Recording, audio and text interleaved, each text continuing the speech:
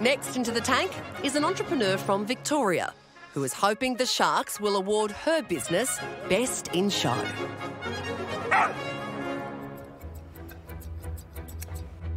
Hi, my name's Melanie. I'm 38 and I'm a professional dog groomer. My greatest passion in life is my dogs and, of course, dog grooming. My name's Cory, I'm Mel's husband. Well, this used to be my pool room. As you can see now, it's uh, converted into a stock room of our business. Do I take better care of my dogs than Cory? Yes. I've put my name onto my product because it's my reputation and I've got a really good reputation within the industry. We won Best of Breed today and I'm so proud of my little Dash. Good boy.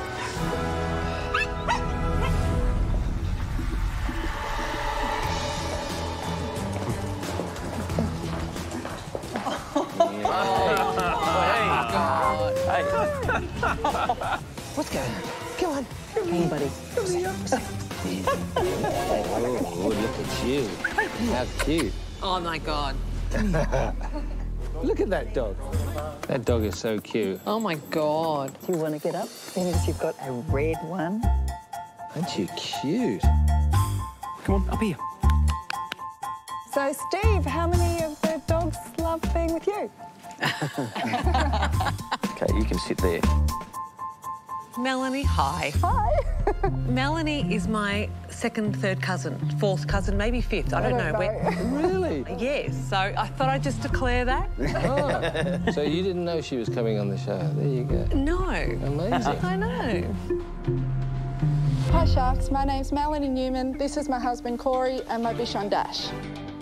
Today we're seeking $150,000 for 20% of our business. So we owned a professional dog grooming salon in Melbourne for 14 years. And during that time, we could never find a product that we're 100% comfortable with to recommend and use on our clients. I'm a professional dog groomer and I've travelled the world competing. As a dog groomer, my hands were constantly irritated from the chemicals within grooming products. So we created our own using plant-derived ingredients, sulfate-free, coconut base and completely uh, scented with essential oils. So we have four varieties of products. We have a, a shampoo, a conditioner, a cologne and a coat conditioning spray. We launched 18 months ago and we've been quite successful. We've, so far to date, we've um, sold $168,000 worth of product in our first year with a $55,000 profit. Currently, we have approximately 60 stockists stocking our retail range, and we have approximately 80 groomers using our bulk 5 litre varieties, and it's growing weekly. Dog cologne. Just confirming you're looking for $150,000 for 20%. And basically, this is sort of toxic-free or organic dog shampoo. That's what Yeah, we're talking about, is it? yeah, it's all plant-derived ingredients. Plant-derived ingredients. Yeah. Okay. So there's competitions for, for combing dogs? Yeah, And scissoring, hand yes. scissoring. Yeah. So I, I'm a hand scissorer, so that's what I do. I travel the world competing. I recently got a first place in Belgium grooming these dogs, Bichon Frises. Okay. Yeah. Amazing. Now, do you want to get down? What's what's going on? So you guys have walked through an occasional big pet store that I might be associated with. Such as Petbarn. Thank you very much. There's only a certain amount of shelf space available. Why is this going to outsell everything else? Our products were designed in a grooming salon, so we we trialled and tested probably for I- over a year. I reckon I've used most pet shampoos, and a lot of companies do use harsh synthetic chemicals. So, so it annoys the, the skin of the dog at the end of the day. Yes, but our particular blends are very calming and soothing for the dog.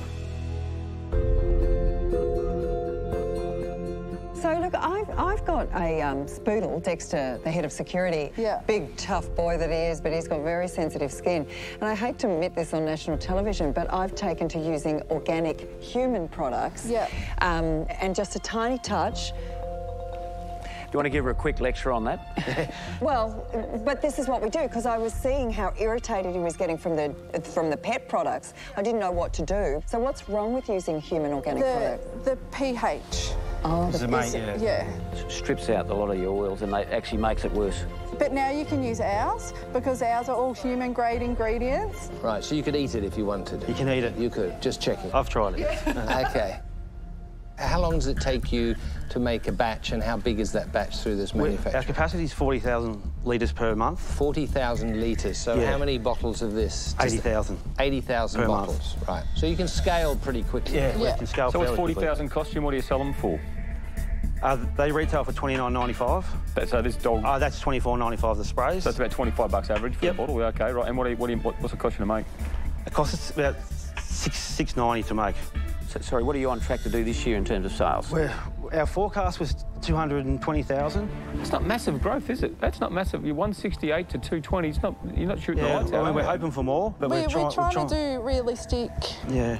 Yeah. We sat down with our accountant and we wanted to set an achievable goal in the first year and sort of grow. Oh, but the from accountant's going to the accountant's going to give you a gutless goal. What's, what's your goal? We think we could double that. So you can go for about 350-ish. Yeah. Maybe not this year, but the year after. Melanie, I'm really glad that you have provided our community with this product. I think you've done a sterling job, a really sterling job. I will be a customer, but it's not an investment for me. Okay. I'm out. No problem. Thank you. I like what you're trying to do, and I and I get the passion, and I definitely see there's a problem, and you've solved it. Uh, I wish you well, but I'm not the right partner for you. But I'm out. Okay. No, thanks. Hey, uh, hey uh, look, I, I've really enjoyed the pitch, Melanie and Cory. I'm going to let you know where I'm at. Uh, one part of me is really happy you're getting some success. One part of me is really sad that such a thing called dog grooming cologne actually exists. Yeah. Look, I wish you all the best in your journey and, and good luck, but I'm out. Thank you so Thanks, much. Steve. Thanks for Thank you.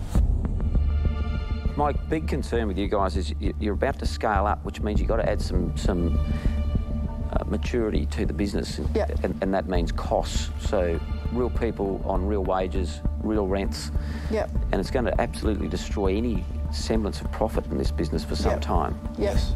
So look, I'm going to throw you an offer, and and you know I've looked at your numbers and going, okay, it's all about gross profit. What's going to drop out the bottom when we put real costs in there, like wages and rents, Yep. and and um, you know really you don't have any profit, guys. So look, my offer based on the information you've provided uh, is 150k for 50% of your company. True to form. True to form. There you go. Mate, you've done the numbers. You've done the numbers. Bottom feeding, mate.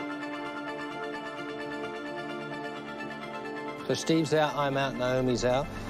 Janine, you got any counter? You've got a um, you've got a really good business, and you and what I like about it is that you've got the authenticity to make this a success. You've you know you live it and breathe it. But I have a rule that I don't uh, do business with family or friends. Yeah. Uh, a really big rule because Yeah. that means that friends, if I do business with friends and I have in the past, they haven't been friends in the future. It's really sad. And also with family, I mean, I've had family not talk to me for three months for things. It's not fun. I understand completely. But you've only seen it three times in the last 15 But saying, years. but saying that, I love your product. I would do you a deal, but I need Glenn. Yeah. I Yeah. need Glenn for his expertise and his background and all of that. Yeah. Um, I'm based in Melbourne. Uh, And um, I think that I could actually really sort of assist, but I need him with his contacts and his know-how. So I will make you an offer, but I can't actually change the offer because I want to go in with Glenn. Yeah, I've got a lot of respect for Janine, but I don't need her. Dog groomer Melanie is Janine's cousin, Really? and she's seeking $150,000 for a 20% share of her dog grooming products. Glenn threw her a bone. 150k for 50% of your company. But cousin Janine quickly barked up. I will do you a deal, but I need Glenn. I've got a lot of respect for Janine, but I don't need her. You do need me in the sense of mentoring Mel and working with them on a daily basis with marketing and also really working on the infrastructure and being based in the same state. I think I can add a lot of value. See, I, I agree with that if I could see you as an independent. I believe that there is a conflict. I don't want the fact that you are family. Mate, we're not that close. No, offence. Melanie, what do you think? We need to have a little talk about it. Yeah. Can Sharon come with us and someone Yeah. stand there? Uh, yeah, I'll sort the dog out. Um, Glenn, I'd be good. I know We'd you be would. good together. I don't need you. I know you don't need me, but I could. Well, actually, you do need me. What am I saying? You do need me. Like I would love Janine because I know what she does. Yeah, yeah, I've seen some good stuff come from her. But then I think um, family, like I, I kind would of agree. personally. Yeah. Yeah. I uh, do not. I don't know Mel from Adam, to be honest. I, I saw her as a little girl. We have. I've had nothing to do with her. I know her sister. You look good up there with that dog. I that don't great. know Mel. I actually don't know her. So what about 40 and 10%? With Janine. Yeah. Yeah. 40%, 10%. Ooh. Can we? Can I have a little bit more? You sound like a dolphin, not a shark. No, I actually, I love the product. Yeah, 40, 10. I don't think they'll give you half their business. What about give him 40, you keep 40 and give Janine 20 and up the price? 35, 15, Janine. She, she's got to go 50%. Seriously, the amount of work we're going to do.